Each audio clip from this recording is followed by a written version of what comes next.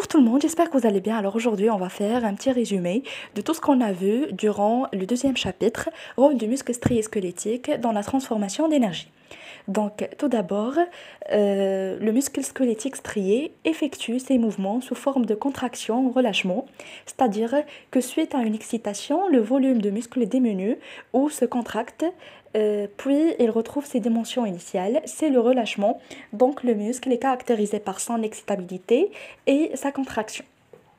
Donc bien sûr, le cours Donc quand vous voyez la photo, donc le muscle qui dit des euh, mouvements de contraction et relâchement, yani qui et euh, qui à l'état initial, bien sûr, l'état de relâchement, qui les, les dimensions initiales ou là son état d'origine.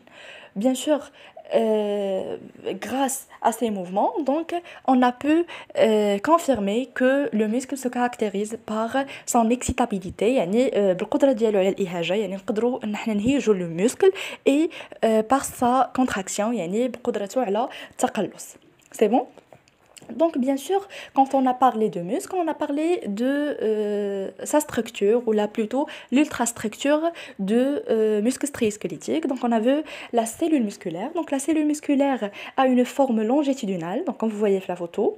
On la nomme fibre musculaire elle euh, contient des myofilaments, ou la plutôt des myofibrilles qui contiennent deux types de myofilaments, l'actine et la myosine. Donc bien sûr, je بلي الخليه العضليه donc كتاخذ لينا واحد la forme longitudinale يعني كتكون غادا لنا بالطول et bien sûr elle comprend واحد العدد من des myofibrilles les myofibrilles sont de deux, types, les هما euh, l'actine et la myosine. Ou bien sûr, l'actine, il y a les myofilaments ou les myofibrilles fins, tandis que la myosine, c'est les myofibrilles ou les myofilaments épais. C'est bon Donc maintenant, on va voir la structure et l'ultrastructure de muscles striés squelettiques. Donc, bien sûr, euh, quand on dit la structure et l'ultrastructure, donc on parle de l'unité de base euh, du muscle, euh, le sarcomère. Donc, quand vous voyez la photo, donc un sarcomère qui est en train de faire des mouvements de contraction et de relâchement. Donc, le muscle squelettique est formé des fibres musculaires regroupées en faisceaux. Donc voilà, là, euh, les fibres musculaires qui sont le faisceau. Chaque fibre musculaire est une cellule géante plurinucléée, يعني واحد الخليه اللي ضخمه واللي كتكون لنا من عدد كبير ديال النواه يعني كي عندنا plusieurs noyaux limités par une membrane plasmique au sarcolème. Son cytoplasme contient de nombreux éléments allongés, ce sont les myofibrilles. Donc bien sûr, on a appelé le cytoplasme de, euh, de cellules musculaires, euh, ou euh, le sarcoplasme, bien sûr.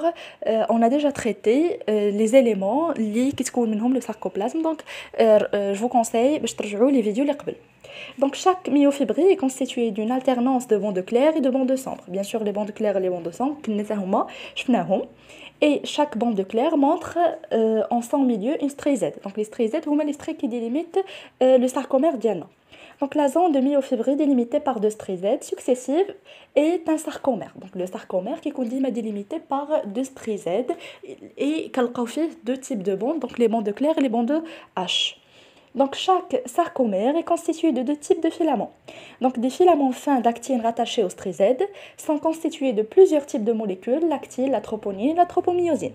Donc les filaments fins, qu'elles les molécules d'actyle, donc bien sûr à de sont des protéines, qu'elles la troponine et la tropomyosine et le rôle de la troponine ou la tropomyosine durant la contraction musculaire flévidule et donc, les filaments épais de myosine localisés au niveau de la bande de cendre sont constitués de 300 à 400 molécules de myosine. Donc, bien sûr, les filaments épais, كنلقاو فيهم واحد العدد كبير ديال les molécules de myosine. Et on a vu euh, chaque ديال la molécule de myosine في les vidéos اللي قبل.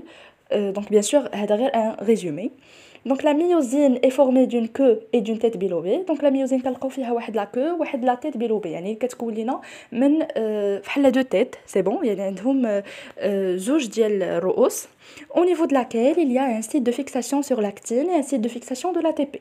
Donc, avec la tête bilobée, il y a deux sites de fixation. Donc, le euh, site de fixation avec l'actine, ainsi, il forme les ponts actomyosines et site de fixation d'ATP, parce que quand on a la molécule et euh, ainsi le phénomène de contraction musculaire. Donc, c'est déjà. Donc, maintenant, on va le mécanisme de la contraction musculaire. Euh, donc, les modifications structurales observées au niveau du sarcomère. Donc, bien sûr, on a dit que le sarcomère en passant d'état de repos à l'état contracté, bien sûr, il effectue les modifications les غنتعرفوا عليهم d'abord donc كيوقع لنا un raccourcissement de la longueur des sarcomères c'est-à-dire كتوقع لنا واحد التقلص في في الطول ديال هاد les sarcomères bien sûr rapprochement des strizèdes voilà يعني هاد le raccourcissement se traduit par le rapprochement des strizèdes يعني ملي غيتقربوا لنا هادوك les strizèdes automatiquement غيوقع لنا واحد التقلص في في, في الفوليوم ولا في, في l'aspect ولا la longueur du sarcomère donc précisément des bandes de clair I et les zones H. Donc une constance des bandes euh, des bandes de centre donc la, bande A donc la bande de centre elle euh, elle préserve ses dimensions donc la, euh, contraction d'une fibre musculaire se fait par un glissement du filament fin d'actine entre les filaments épais de myosine. Donc voilà, donc euh, il a la contraction, donc on voit euh, le glissement des filaments fins d'actine entre les filaments épais de myosine. Ici, ou bien sûr cela s'appelle la théorie de glissement de myofilaments. C'est bon?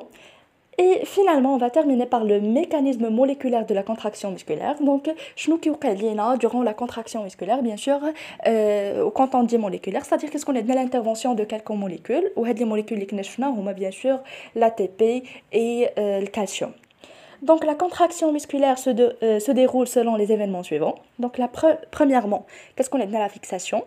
Donc en présence de CA2+, donc CA2+, bien sûr, l'équigina mène, euh, euh, euh, le, sarcomère endoplasmique, pardon, le réticulum endoplasmique.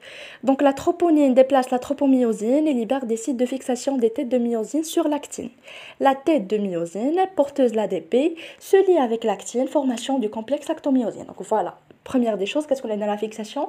Et la formation des euh, ponts actomyosines. Donc, deuxièmement, qu'est-ce qu'on a dans la désactivation, donc la libération de PI, c'est-à-dire le phosphate inorganique, puis l'ADP, basculement ou pivotement des têtes de myosine de 45 degrés et glissement des filaments d'actine vers le centre du sarcomère. Donc l'actine radim chilina, euh, le glissement de 45 degrés, ainsi chilina vers le centre du sarcomère. C'est bon? Et troisièmement, qu'est-ce qu'on a la séparation? Donc la séparation, qu'est-ce qu'on a? Une fixation d'une nouvelle molécule d'ATP et dissociation de la tête de myosine de l'actine. Donc, on a la molécule d'ATP, bien sûr la myosine, donc on le site de fixation d'ATP. Ainsi, on a la dissociation de la tête de myosine de l'actine, donc on a le pont actomyosine. Et finalement, l'activation, donc l'hydrolyse d'ATP au niveau des têtes de myosine et libération de l'énergie nécessaire à l'activation et au redressement des têtes de myosine de 90 euh, degrés. Donc, euh, sa situation initiale, là, euh, l'état qu'on fait, et bien sûr, son état perpendiculaire. Donc ainsi on كملنا le résumé ديالنا donc brièvement شفنا toutes les étapes ولا كاع داكشي اللي كنا هضرنا عليه في le cours donc j'espère que vous avez compris donc si vous voyez ma chaîne pour la première fois n'hésitez pas de vous abonner de me laisser vos commentaires bonne chance à tout le monde et à très bientôt